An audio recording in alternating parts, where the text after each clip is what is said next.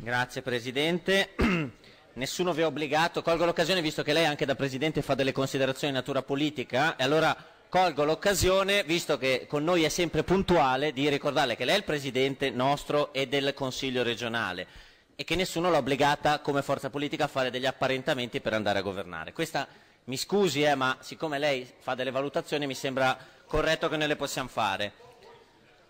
Detto ciò, eh, questa mozione che noi abbiamo già sentito insomma, non essere molto condivisa dalle forze di maggioranza, invece riteniamo sia importante, soprattutto perché va ad aiutare quegli enti locali tanto vituperati e tanto eh, pubblicizzati dalle forze che governano questa regione, che vanno aiutati, vanno supportati, perché comunque il bilancio partecipativo è un sistema che permette di eh, coinvolgere i cittadini nelle decisioni del, del, delle, della gestione delle risorse pubbliche, non è una cosa da poco. I consiglieri qui presenti credo che possano rendersi conto che noi abbiamo presentato questa mozione con razionalità, non chiedendo che fosse la Regione in primis a fare questa operazione perché è molto difficile, anche in termini operativi, lo sappiamo benissimo, la Regione logisticamente è distante, però crediamo sia importante che noi ci facciamo attori principali di supportare quei comuni che vanno a coinvolgere i cittadini nelle decisioni così importanti. Le opere pubbliche noi crediamo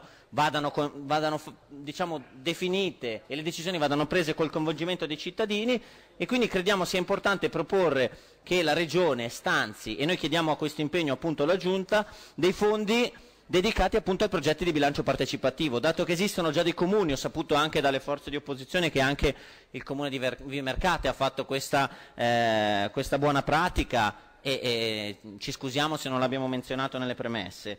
Eh, riteniamo però che sia importante ad oggi riuscire a far esprimere i cittadini utilizzando la rete per capire come dirottare le risorse pubbliche, crediamo sia importante. Colgo l'occasione per chiudere anticipando diciamo, una riflessione con l'assessore, nel senso che se ci fossero degli impedimenti tecnici per realizzare questo, eh, siamo ben disposti a trovare delle soluzioni con la Giunta per portare avanti questa buona pratica.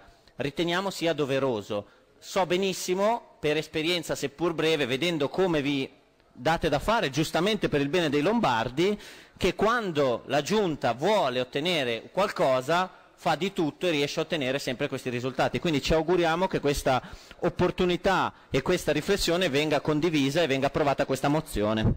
Grazie. Eh, sono, si è conclusa la discussione generale, eh, chiedo chi vuole intervenire per la dichiarazione di voto di prenotarsi. Buffagni ne ha facoltà. Sì, oggi abbiamo una relazione.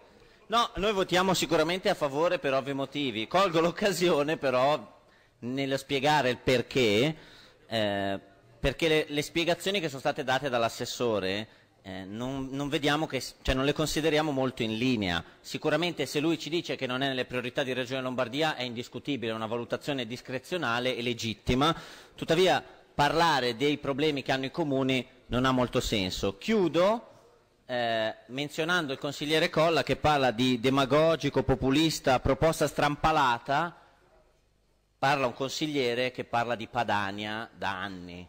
Quindi insomma, cioè, qui è proprio una gara di, di, di, di chi la spara più grossa. Mi scusi, quindi confermo che voteremo in maniera favorevole.